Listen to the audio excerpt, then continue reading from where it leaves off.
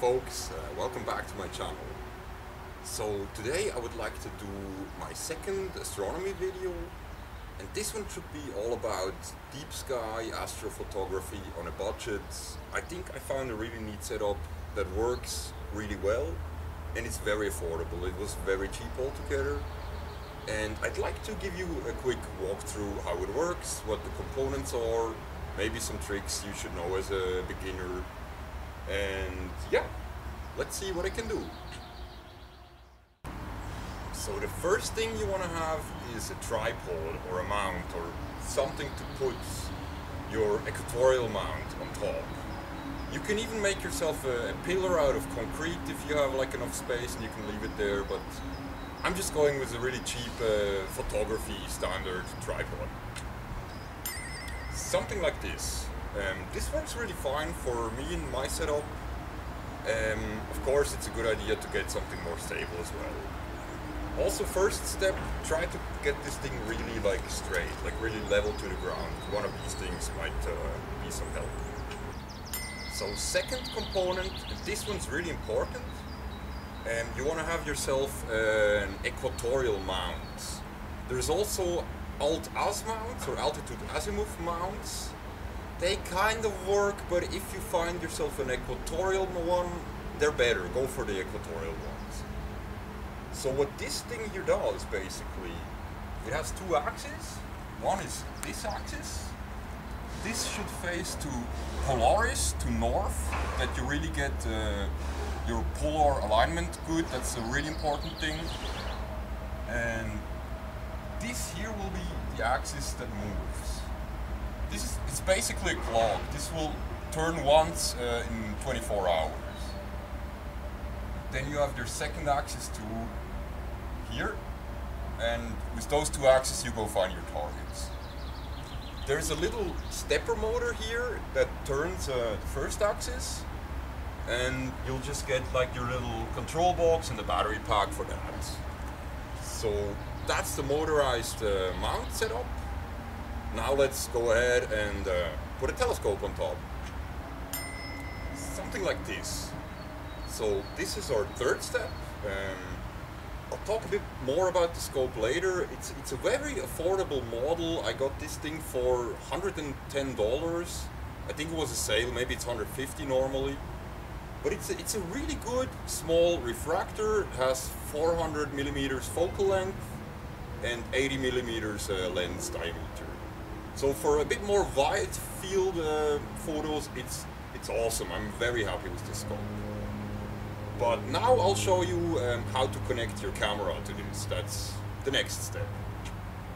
So um, if you want to connect your DSLR camera to one of those telescopes, you'll need one of these T adapters here. So this side connects to your camera. This is a Canon in my case. It has to be compatible with the brand. And on the other side, this is just a 1.25 inch, uh, that's kind of standard eyepiece diameter um, opening. So connect this here and then you can shove it in uh, the telescope.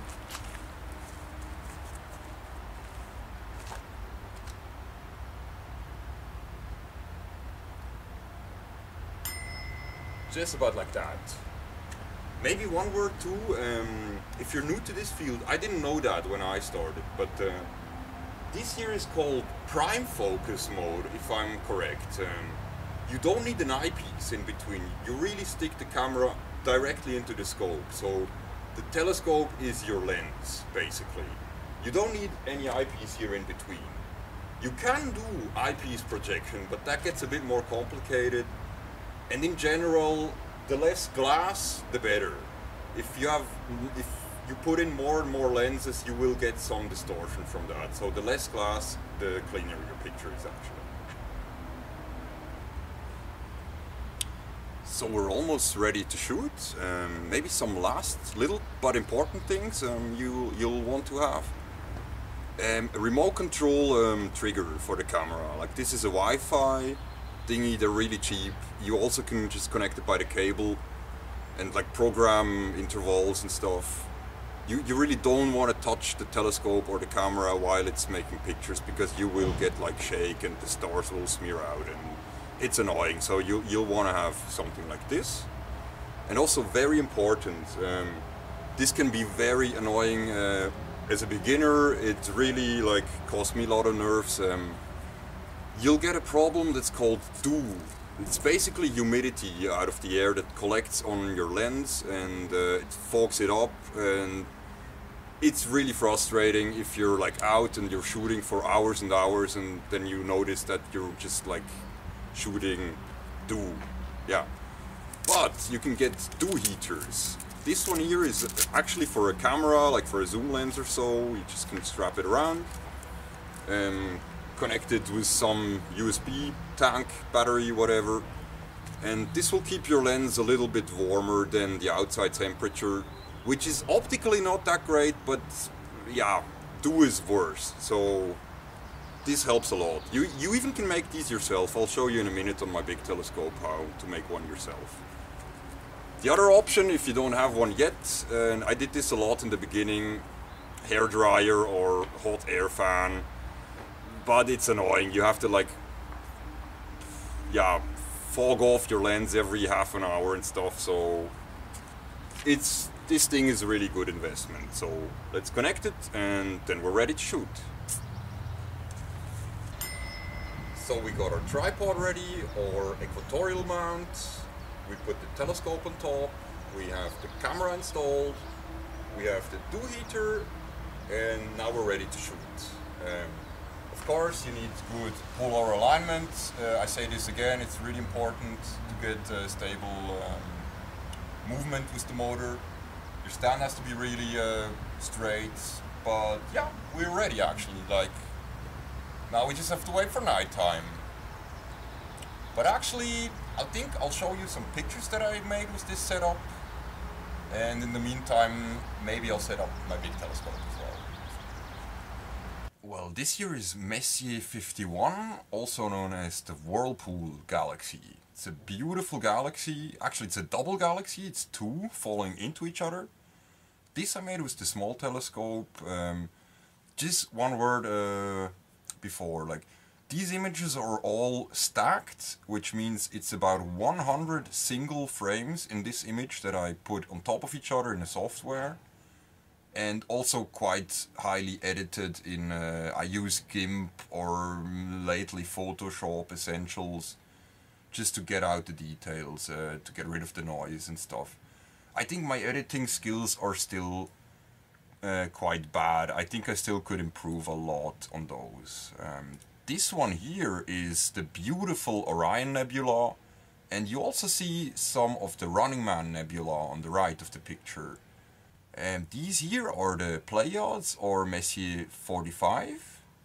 Beautiful little uh, star cluster and what else do I have? Oh yeah, this one is really nice. Uh, this is Messier 108 and Messier 97. So 108 up here is a galaxy and Messier 97 is the Owl Nebula on the lower uh, left side. So we have two deep sky objects in one frame. The nebula, however, is inside of our galaxy. This one here I like a lot, even though it's highly edited and the colors are really like false. They're, uh, yeah, I messed around a lot with editing here. Sometimes I get the colors quite true, but sometimes I find it a bit difficult. It's a beautiful motive though, um, the Horsehead Nebula and the Flame Nebula in Orion. The first one here is Messier 81, also known as Bode's Galaxy, um, and the second galaxy, it's uh, more on the right side. That's Messier 82 or the Cigar Galaxy. Then I have one more galaxy picture and this is called the Leo triplet. So these are three galaxies uh, in the constellation of Leo. They are like really close to each other and also three really different kinds of galaxies. Even though also here I'm not really happy with the editing yet, I think I could do better. And just before I forget it again, uh, since we are the low budget science channel here, I want to talk about the price of the small setup just for a moment. So tripod is from the flea market, 10 bucks or so. I'll do this in US dollars because this is closest to my currency in my country. It's almost the same, so in euros it will be a little bit less, but uh, yeah, you can do those calculations uh, yourself, I guess. So tripod, 10 bucks. Orion EQ1 motorized equatorial mount I found on Amazon I think for 150 bucks. Then the telescope, which I didn't talk about much yet, it's some newer brand from China, they're called SVbony. The telescope itself is the SV20 and it's really really good. Don't uh, like be afraid of the low price. I'm very happy with the results. You can't expect more for 110 bucks. It's it's really good. Of course the dslr which i got used the 600d is a really good model for astrophotography i had a 1100d before which i wasn't that happy with. It, it gave me some nice results but the 600d is much better. You'll find them around 300 350 bucks used. Then of course all the small stuff t adapter dew heater remote trigger focusing mask. I would say about 50 bucks for that which gives me a total of 670 us dollars. So we got us a deep sky astrophotography setup you can do galaxies with it for under 700 us dollars i think that's a very good price for uh, the results that I get. Well, this thing here is my big telescope that I'm using uh, a lot lately. Actually, I got this here before I got the small setup, but I mostly start with the difficult stuff first and then move to the easy stuff. That's just a thing of me, I guess. But I love this scope. It's really awesome. I got it used from something like eBay for around $800 more or less. It's like 25, 30 years old, but these models are great. It's a Celestron C8. There's also other brands, other models that are good, but this one is quite a popular one. And essentially, the whole principle is kind of the same, like with the small one. There are some differences, but um, you have um, you have this axis, then you've got the other axis. Here's the scope from the front. Back here, this here is a 2 inch adapter, but it's also for a Canon DSLR. I can mount the camera directly. And there's a motor built into the mount. It's, it's like internal here. Um, I power the motor with an external battery. You can also put a 9 volt inside if you want. And let me show you my DIY dew heater quick. It's basically just this band here that I put around. Um, this is just like a 25 or 30 resistors that I um, connected together in parallel. Yep, parallel. And I hooked it up to my old motorbike battery. This works really, really good as a dew heater for me. I'll show you the schematics, like right now. Just a simple drawing. And the trick is the resistors just should get warm. Like, they shouldn't get hot, otherwise you'll maybe damage your glass. So test that out before you put it on the telescope. But this works really easy as a dew heater. Also, you can get dew shields. They kind of help. You can just strap this around front, like something like this. And if you use both together, you should be really dew-free. I am at least, so for me it works really good. Then there's one more thing I forgot to talk about. Well, essentially I talked about this in my last, uh, my first astronomy video, focusing masks, or a Wachtentopf mask, I always mispronounce it, I'm sorry for that. But, um, need a sec. Ah, yeah. There's also small ones, this is for the big scope, this is for the small scope. So before you start shooting, you just want to put this up here, like have it centered go to a really bright star, do your focusing, check my other video if you want to see exactly how that works. So that's an essential part too. And something I forgot to talk about um, is balance. On this here, we have this big heavy weight. The idea of this is if like you have your scope mm-hmm. like this, for example, you, you just want this axe to be this axis to be balanced, that the motor doesn't have to like work too hard Yeah, I'm hitting the motor here now. This thing has the same thing as well. It works a little bit different. You, you get these balances here, you can like take them apart and screw them onto down here. Yeah, it's essentially the same thing. You, you really want to have it in balance, that the motor doesn't have to work too hard. Let's take a look at some pictures that I did with the big telescope, the Celestron C8. Um, the first one here is, it's actually my first really good deep sky image that I ever made. It's a M57, the Ring Nebula, or also known as the Space Donut, as I like to call it. Then my first successful galaxy was M81, Bode's galaxy. Here also you, you see the difference between the field of views. Like uh, I showed you the picture of M81 and the M82 before with the small telescope that has a bigger field of view. The big telescope, however, has a much smaller field of view, which gives you more magnification, um, obviously. So you can go more into detail into like a single object uh, with one of those big telescopes. Then I also have the Whirlpool Galaxy that I did also with the small telescope just to show you the difference. This is one of my favorite photos till now, I really like this one. And I also can show you M Messier 101, the Pinwheel Galaxy.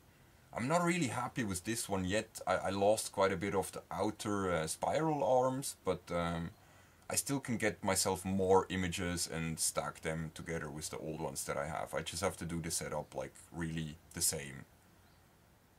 And also just really quick about stacking and about image editing. I think I'm just not really good at that stuff yet. I'm still really learning a lot. That's why I don't want to give you a tutorial tutorial on how that works. I think there's other people that can do that better.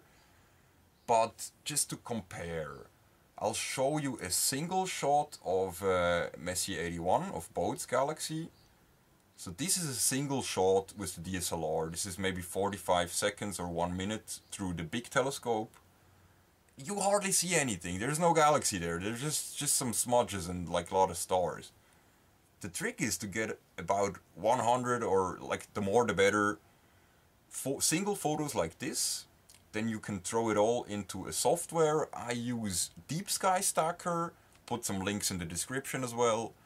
Deep Sky Stacker is freeware. It's amazing. It's it's a really good software so might as well throw some bucks in their hat too. I think they have like some kind of a PayPal where you can like give them something if you want to. I will because it's awesome and I love this program.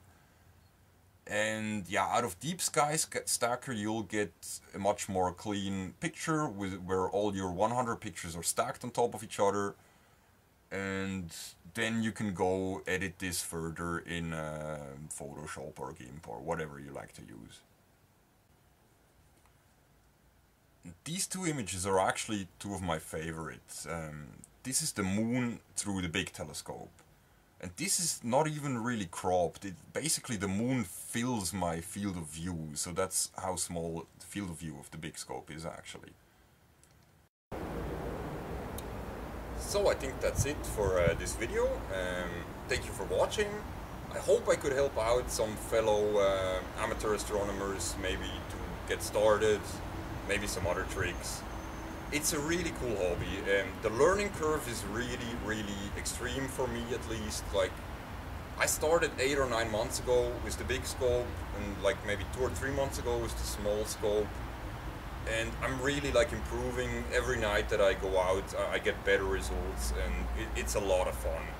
And you can make really beautiful pictures. You can go after galaxies and like how awesome is that?